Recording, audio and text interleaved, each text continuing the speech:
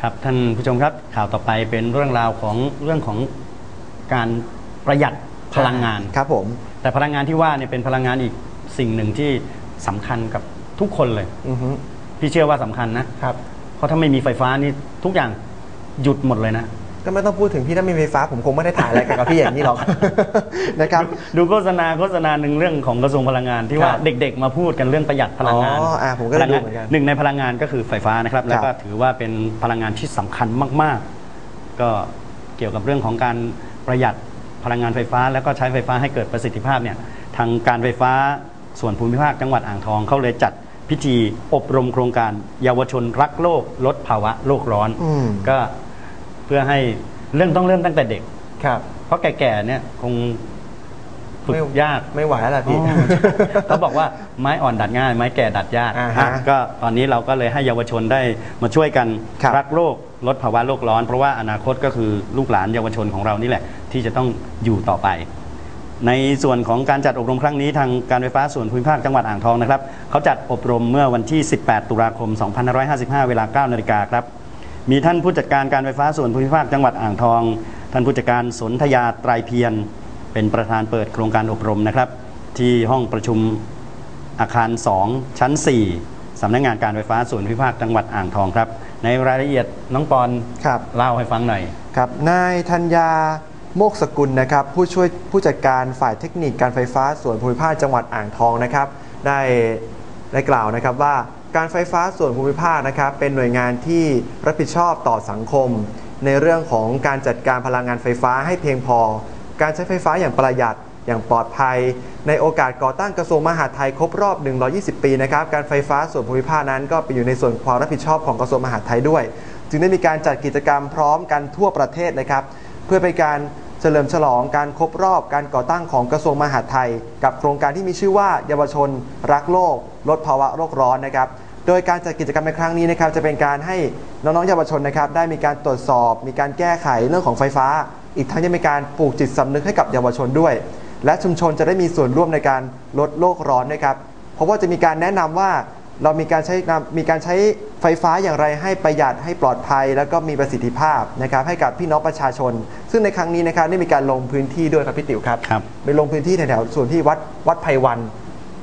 ที่บ้านอิฐบ้านลีอะบ้านลีบ้านลีนะครับที่บ้านลีครับสำหรับวัตถุประสงค์ในการอบรมครั้งนี้ก็อย่างที่บอกไปครับ เพื่อให้เด็กๆ เยาวชนที่มาร่วมโครงการเนี้ยจำนวน 39 คนเนี่ยได้รู้การใช้ไฟฟ้าอย่างถูกวิธีประหยัดปลอดภัย การใช้พลังงานที่เอ่อป้องกัน ในเรื่องของการเกิดกระแสไฟฟ้าเป็นอันตรายกับผู้ใช้นะครับ แล้วก็จะลงพื้นที่ไปให้ความรู้กับพี่น้องประชาชน ซึ่งท่านผู้จัดการการไฟฟ้าส่วนภูมิภาคจังหวัดอ่างทอง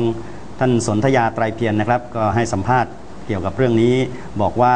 ทางวิทยาลัยเทคนิคอ่างทอง แล้วก็นักศึกษาจากสาขาช่างไฟฟ้าของวิทยาลัยเนี่ยจำนวน 39 คนได้มาร่วมโครงการครั้งนี้ แล้วก็ลงพื้นที่อย่างที่น้องปอนได้บอกเมื่อสักครู่ว่าลงแถวๆตำบลบ้านลีครับ อ่าตำบลบ้านตำบลบ้านอิฐแถวบ้านลีบ้านอิฐอ่าๆนะครับแถวช่วงนี้นั้นมันคาบเกี่ยวกันอ่าก็หนึ่งคนเนี่ยดูแล 50 หลังอือฮึหลังคาเรือน ใช่ครับ ก็คือลงไปดูตรวจดูปลั๊กไฟฟ้า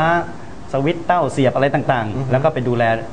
ซ่อมแซมอุปกรณ์ หรือแนะนำวิธีการใช้ไฟฟ้าอย่างประหยัดให้แต่ละบ้าน ครับ โดยเฉพาะในเรื่องของการตรวจสอบอุปกรณ์ อือฮึเพราะเราสังเกตไหมเวลาเกิดเหตุเพลิงไหม้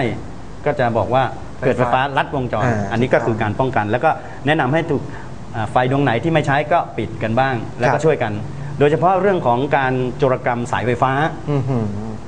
ก็มีเกิดขึ้นบ่อยครับทางท่านผู้จัดการไฟฟ้าส่วนภูมิภาคจังหวัดอ่างทองนะครับ ท่านสนธยาก็ฝากพี่น้องประชาชนผู้ใช้ไฟนะครับ ว่าถ้าเห็นเหตุการณ์หรือว่ามีการลักลอบอย่างเงี้ยแจ้งเบาะแสครับได้ที่ 191 นั่นแหละ ก็คืออมตำรวจ หรืออีกส่วนหนึ่งก็คือแจ้งการไฟฟ้าที่อยู่ในพื้นที่ในอำเภอในตำบลที่ท่านอยู่ใกล้เคียงครับนะครับก็เดี๋ยวเราจะไปแจ้ฟังเสียงสัมภาษณ์ของท่านสนธยาไตรเพียรกันบ้างดีกว่าพี่ติ๋วครับครับไปรับฟังกับท่านเลยดีกว่าครับครับผม